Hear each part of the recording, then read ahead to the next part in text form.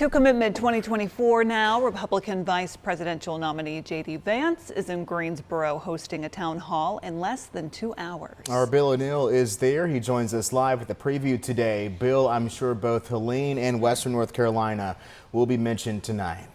I don't think there's any doubt about that. A good crowd on hand here today. Doors opened up at 2.30. There are still people trying to make their way through security to get inside. Now, the campaign did put out a statement about tonight's town hall, and in it, it accused Kamala Harris of leaving North Carolinians behind in the wake of the devastation of Hurricane Helene. Former President Donald Trump has issued several falsehoods in recent days, saying FEMA is not providing enough money, not enough staff on the ground in western North Carolina.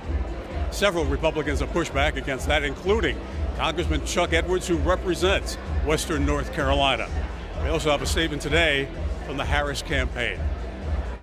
It's really shameful to see them kind of spin this disinformation when it comes to FEMA funding and saying that it was, you know, diverted uh, towards uh, migrants because that's just, it's factually just incorrect completely. It's a false accusation.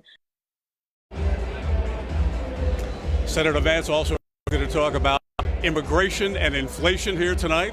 By the way, the moderator is Danica Patrick, former NASCAR driver. In Greensboro, I'm Bill O'Neill, WXII 12 News.